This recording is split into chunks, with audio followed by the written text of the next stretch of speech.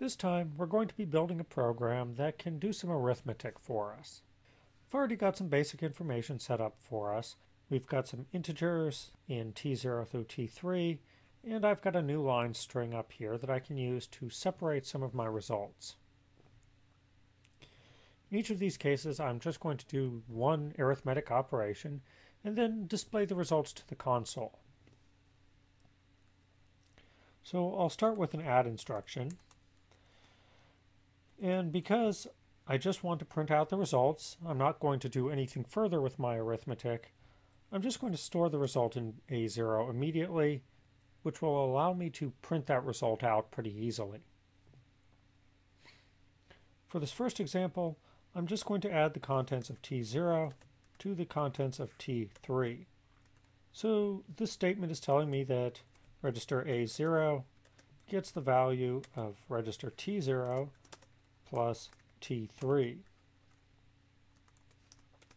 which should be 2 plus 8. Now, since I just want to print this integer out, I will put 1 into V0 and make a system call from that. So it should print out 2 plus 8, which is 10. Now I'll print out the end line, and then I can try another arithmetic operation.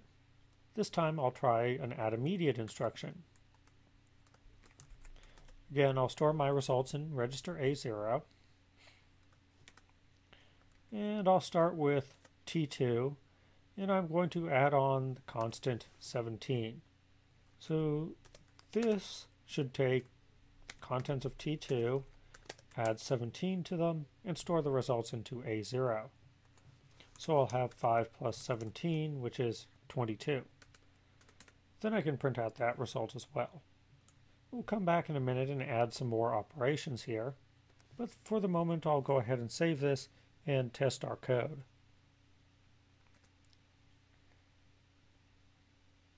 So it printed out 10 because we had 2 plus 8.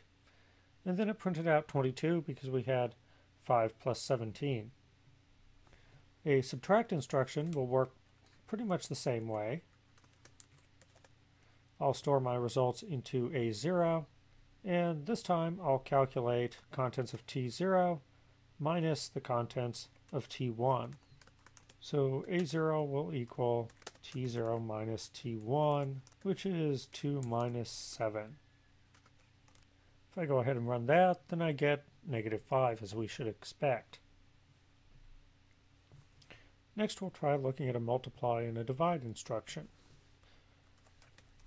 So our multiply instruction takes two registers, it will multiply their contents together, and then store the results into the high and low registers.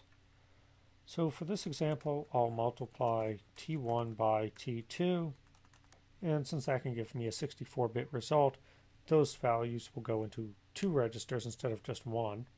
But since I know I really just have small numbers, I'm only going to worry about the lower 32 bits of my result, and I'll copy those into A0. So really I know that A0 is T1 times T2, then I can print out that result. Now if I go run this code, it prints out 35, which is 7 times 5. I could ask it to print out the upper 32 bits as well. I can use the move from high operation to copy those upper 32 bits into A0, but as we'd expect, the upper 32 bits are zeros. The divide instruction is pretty similar. I can use the div instruction to divide 7 by 2. So if I just wanted to print out the quotient, I'd use the move from low operation again. If I'd like to see the remainder as well, I can use the move from high operation. So this time I did 7 divided by 5, and I got a result of 1, remainder 2. If I change that and I do, say, 7 divided by 2, then I get 3 remainder 1. Well, the MIPS architecture actually provides a mult and div instruction as we've used them here, there are a couple of popular pseudo instructions that allow you to simplify some of this writing. So instead of writing two instructions to do a multiplication or a division operation, I can occasionally get by with one. So I could have used the mul pseudo instruction instead. In this case, this will do exactly the same thing as our previous two instructions. And in fact, the assembler will actually expand my mul pseudo instruction into these two instructions. So this will work fine in any case where I have a small result, something that only needs 32 bits. So again, I got 35 out. If I want to do division, I can actually use a div pseudo instruction, but provide it with three arguments instead of just two. And to get the remainder, I can use the rem pseudo instruction. And this is equivalent to doing a modulus operation in other high-level languages. So I'd already seen that my mul pseudo instruction produced 35 just the same as my original two multiply instructions.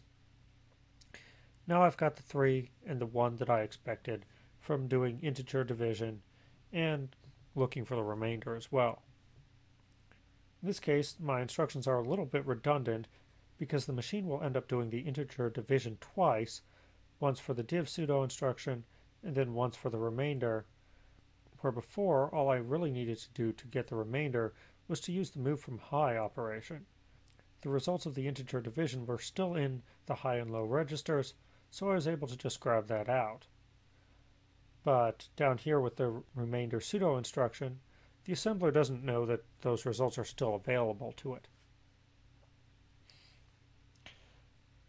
But the mul, div, and rem pseudo instructions can make your life a bit easier because you don't have to remember to write two instructions every time when you really just want to do a simple operation.